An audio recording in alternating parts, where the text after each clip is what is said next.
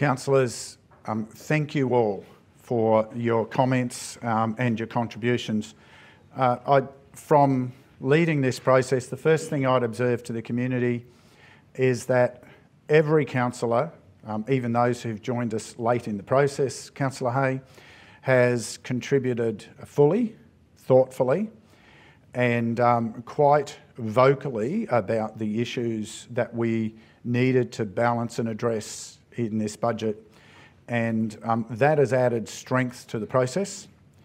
Um, the officers, the CEO and all of his team and the officers uh, who've worked through the number crunching behind the ideas have played an excellent role whilst we've probably challenged them a little bit sometimes with our um, thinking about those issues, they've applied robust process. And I commend um, our council team for those efforts. The challenge that we all faced this year was um, ugly numbers. And everyone's living in a world of ugly numbers. I think um, um, financial upheavals, um, cost of living upheavals, we're all living that um, challenge at this time. And we certainly had a challenge in our deliberations because the option was always to say, let's push some things back um, and go for a small target. And certainly uh, at this time in the electoral cycle, that could have easily been a path to tread. However, it would have been a path that lacked the leadership that the chamber has shown. It would have been a path that failed future generations and handed on further problems. Um, and the history across very many places in Australia is at both federal, state, and local government level is that the failure to step up to the issue of the day and push it down the road is that you leave a bigger problem for someone to have to solve tomorrow. And we already have some of those challenges that we're having to deal with of issues that time and the breakdown of infrastructure are handing to us. So we faced that, and I'm glad that whilst we have been circumspect in our deliberations and in what we've included, we have nonetheless tried to step up to avoid the risk of compounding shortfalls.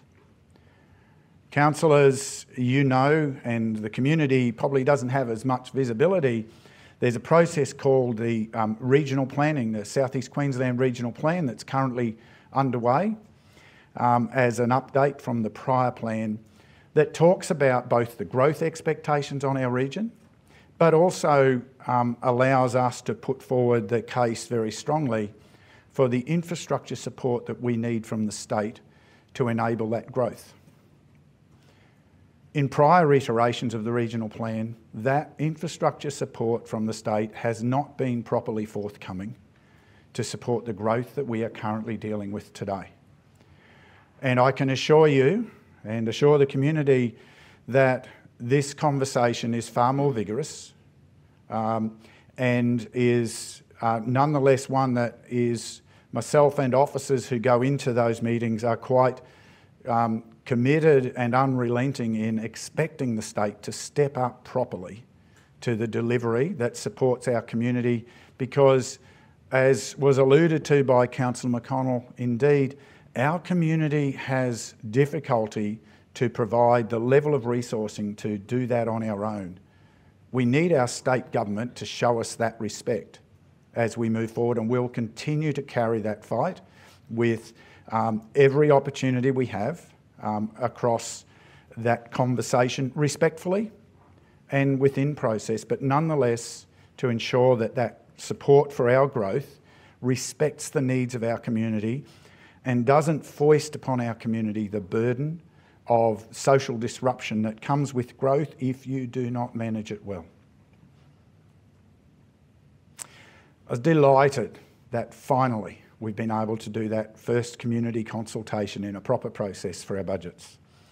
It's something I've long desired, and some will recall in the past, in the prior term, we tried a version of that with some updates to the communities through a round of consultations to advise about the structure of what was happening with the cost base and the needs of council as a start of that conversation.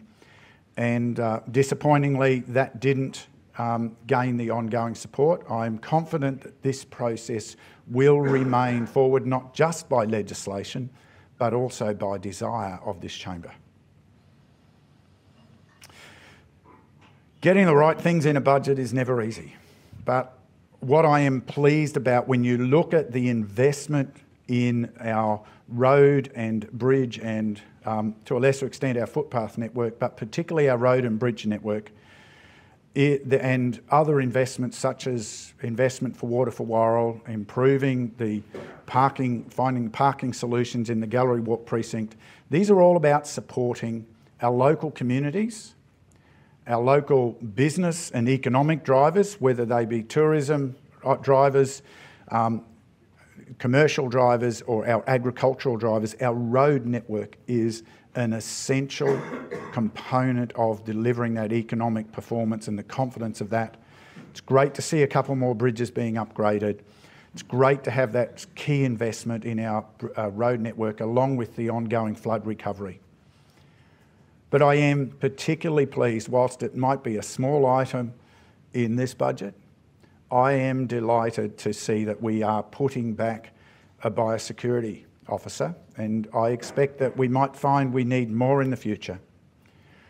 I've witnessed firsthand the impact of invasive species um, de de de degrading the performance of some of our precious agricultural precincts. I've witnessed how it not only makes them unserviceable for the ongoing production of beef, but it also creates a weed base and a seed base that allows then other species to invade. It threatens our biodiversity. It threatens the cornerstone of our economy, which is our always our agriculture and horticultural capability. Councillors, thank you for all your inputs. Thank you for your courage in the conversations and your courage to step up to the budget before us. And I certainly commend our today's budget. Thank you.